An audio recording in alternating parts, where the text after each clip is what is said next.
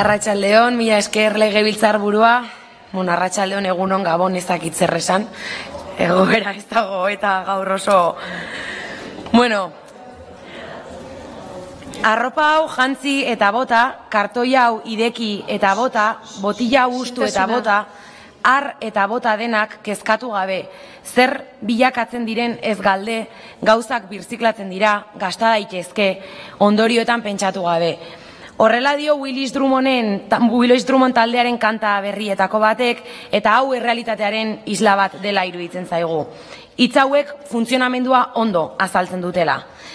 Askotan, pentsatu daiteke, errealitate honek ez duela aldatzeko aukerarik, eta horrek paralizia ere sor dezake. Baina jakin badakigu badirela, aukerak badagoela beste modu batean funtzionatzeko aukera bat ere. Eta modu hori landu eta bestelako eredu batean sakontzea dagokigu. Gaurkoan modaz hitz egin nahi dugu, egunerokoan hartzen ditugun erabakiak baldintzatuak dira, testu inguruak, sistemak, baldintzatuak bizi gara. Hartzen ditugun erabakiak ez dira kasualitatearen ondorio eta gure egunerokoa modak ere zeharkatzen du. Esan hori da gainera jazten dugunak gure nortasuna definitzen duela, jazten dugunak egiten gaituela nolabait. Sistema kapitalista honetan ordea, fast fashion edo moda azkarra deritzogun honek gure egunerokoa inbaditu du dagoeneko. Eta badirudi online bidezko salmentak eta multinazionalek saltzen duten ustezko arropa merkearen aurrean ez gutxi dagoela egiteko. Baina hau ez da egia, gure inguruan hainbat eta hainbat pertsonek moda modu jasangarrian ekoitzi eta eskaintzeko autu politikoa egin dutelako. Gure inguruan bigarren eskuko arroparen aldeko apustu sendo bat ikusten ari garelako azken aldian ere. Eta horregatik, errealitate honi tarte bat egin eta egoera hau iraultzeko moda modu jasangarrian ekoizten duten eta banatzen duten eta bizitza jasangarrien aldeko apustua egiten duten horien aldeko politika publikoak sustatu eta diruz laguntzea dagokigu instituzio publikoetatik ere. Denok dakigu, munduan gehien kutsatzen duen bigarren industria dela modaren industria bera.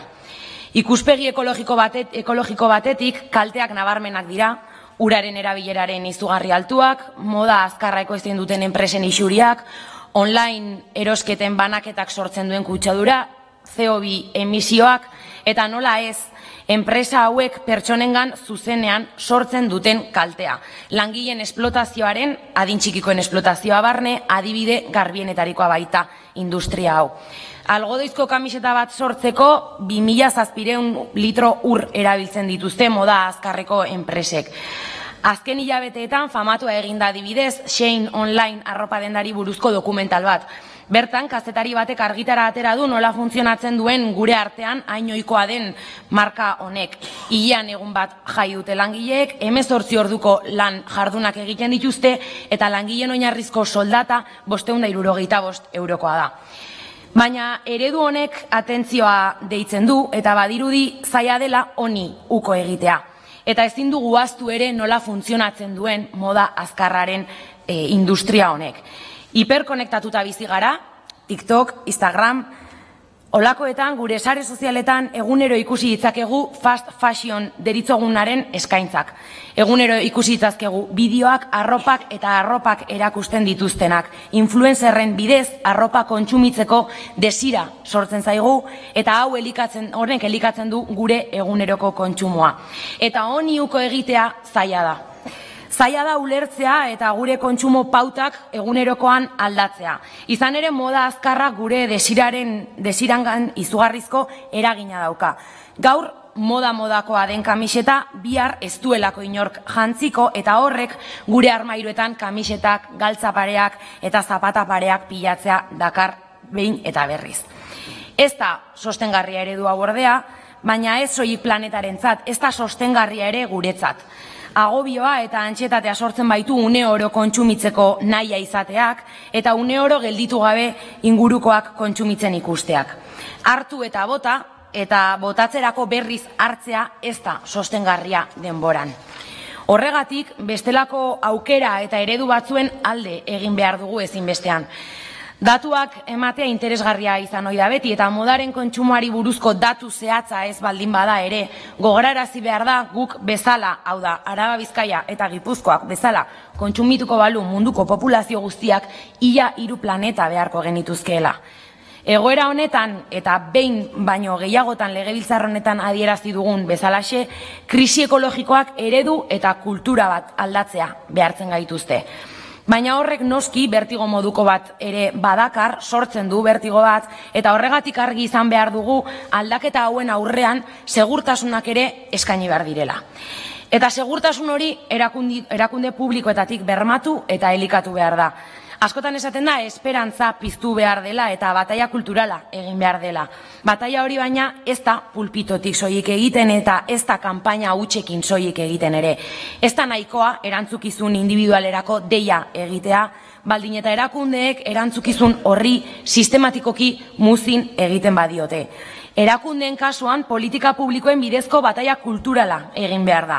Egiturazko neurriak hartu, bizitza bizigarrietarako bitartekoak bermatu, aldaketa posible dela frogatu eta gehiagorako baldintzak sortu. Bestela esan da, gaurko soluzioekin biharrari atea ireki eta denona eta denon bizia izango den eta bizia izango den herri baterantzko pausoak eman behar dira ezinbestean. Eta horregatik ekarri nahi izan dugu gaurkoan alako proposamen bat. Eta gainera gabonen atarian gauden honetan erostera eta kontsumitzera bultzatzen gaituztenean une oro. Eta egoera honi beste modu batera erantzuteko, batez ere. Ezinbestean tresnak behar ditugulako kontsumitzaile bezala ere. Moda modu jasangarrian ekoizten da gure herrian. Eundaka artisau, langile, gure inguruan daude moda azkarraren ofentsibaren aurrean mimoz, gustoz eta eguneroko borrokari esker soinean eramateko arropa ederra sortzen. Gure inguruan orain urte batzuk erosi ziren eta jada erabiltzen ez diren arropei bigarren bizitza bat ematen ere badabiltza eundaka eta eundaka pertsona. Baina baldintzak ez dira errazak eta desde luego plaza falta da. Eta egoera ez da idealena. Ekoizpen prozesua modu jasangarrian burutu izateko hainbat gasturi aurre egin behar baitzaie eta ondoren produktuak saldu eta eskaintzeko lehen esan bezala plaza gehiago behar dira. Hau da, inbertsio gehiago behar da, baldin eta ez egon kortasunean bizirautera kondenatu nahi ez balin badugu behintzat moda jasangarriaren industria. Eta kontsumitzaile bezala ere, gainera, badugu eskubidea erosten dugunaren berri izateko. Kalitatea eta oinarrizko lan eskubideak bermatzen diren ekoizpen prozesuen eta produktuen alde dekantatzeko hauek plaza zabalagoa izan eta aukera errealak izan behar dituzte leia sutsu eta basati honen aurrean bizirauteko. Moda jasangarriaren alde egotetik, moda jasangarria bultzatu eta diruz lagundu behar baita. Eta hain justu, hau da landu duguna, eta hau da agendan kokatu nahiko genukeen ekimena ere. Eredu aldaketa baten alde lan egin izateko bidea aurratu egin behar delako.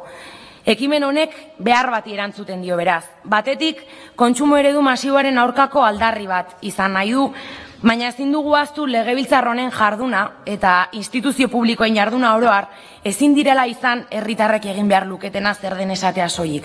Hau da ez da nahikoa norbanakoek euren kontsumo eredua aldatu behar dugula edo dutela esatea. Kontsumo eredua aldatzeko baldintzak sortu behar baitira. Eta horregatik, bigarrenik ere, moda jasangarria eta zirkularra ekoitzi eta saltzen duten eta bigarren eskuko moda sustatzea bultzatzea eta eremu honetan ikerketa eta garapena areagotzea eskatzen da gaurko erdibidekoan. Bai eta gaur egun ere martxan dauden diru laguntzen informazio handitzea eta aurrera begira laguntza hauek handitzeko aukera maiganean egon dadia behintzat e, maiganean jartzea.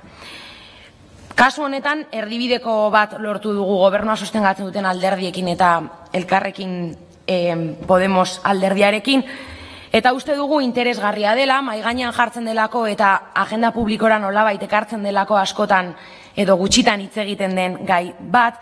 Kasu honetan moda jasangarriaz hitz egiten dugu oroar, baina gogoratu behar dugu ere moda honi nola, moda hau nola sortzen den eta batez ere kontuan izan behar ditugu moda honen atzean edo moda industria honen atzean dauden langile guztiak eta norbanako guztiak apustu bat egin dutenak beraien egunerokoa eraldatu eta benetan guk soinean eraman egun arropak beste modu batera ekoitzi, beste modu batera banatu eta saltzeko, ez? Eta uste dugu horretan fokua jartzea interesgarria dela, barlin eta aurrera begira, benetako eraldaketa bat eman nahi balin badugu gure herrian ere. Uste dugu bestelako bizitzak nahi balin baditugu, bestelako bizitzen alde egin behar dugula eta apustu sendoak egin behar direla baita instituzio publikoetatik ere. Etengabeko antxietatea erik gabeko bizitzak nahi ditugulako eta segurtasun gehiago eta beldur gutxiagorekin bizi nahi dugulako. Nahikotasunean oparea, oparoak izango diren bizitzak eraikitzea, bizitza bizigarriak eta gozagarriak eraikitzea izan behar delako helburu politiko nagusia. Eta bide hori urratzeko beharrezko pausu bat iruditzen zaigu gaurkoa, baina ez nahikoa, noski. Aurrera begira, kontsumo eredu basatiaren aurka eta existitzen diren alternatiba eta eredu jasangarrien aldeko dekantazioa geldiezina izan beharko da, baita instituzio publikoetatik ere. Gaurkoa beraz, aldarri bat da, eta neurri txiki bat besterik ez aurrera egin izateko. Badago bidea eta egiteko bide asko geratzen zaigu. Bizitza bizigarriak bizitzeko nahiak bultzatzen baitu gure jarduna eta baita uste dugu gaur egun bizitzen ari garen krisi ekologikoaren aurrean benetako erantzunak hildo hauetan kokatu behar direla. Eta ipar hori argi izan da lanean jarraituko dugu termino hauetan. Eta noski lehen esan bezala ezin aztu gure herrian lanean ari diren artisa guztiak. Eta batez ere moda birpentsatzen eta eraldatzen egunerokoari aurre egin eta gure merkatu eta azoka eta herriko plazetan lanean ari diren pertsona guzti horiei. Horiei esker moda jasangarria posible da eta horiei eskerrari gara gaurkoan ere kontu honetaz hizketan. Autu pertsonala egin dutelako eta usartak izan direlako, baina pasioz egiten dutelako beren lana eta badakitelako agian errekonozimendu gutxi izan aldutela orain arte instituzio publikoetatik edo agian falta izan zaiela babesa ere termino hauetan babes ekonomikoa instituzio publikoetatik, baina badakite egin duten bidea eta hartu duten autua behar beharrezkoa dela gure herria beste modu batean pentsatu eta krisi ekologiko honi aurre egin nahi balin badiogu. Naikotasunaren aldeko eta moda jasangarriaren aldeko apustu sendoak egin behar dira baita instituzio publikoetatik ere eta gaurkoan eskerrak eman nahi dizkiet erdibideko hau onartu eta bultzatu duten alderdiei, baina batez ere bide hau hasi besterik ez dela egin ulertu dugulako eta uste dudalako hori konprenituta e, aurrera begira ere bestelako planteamendu eta ekimen batzuk ba, martxan jartzeko aukera errealak izan ditzakegulako baita leusko legebiltzarretik ere. Besterik gabe mila esker eta animo. Eskerrik asko, sabe egilaz Anderea.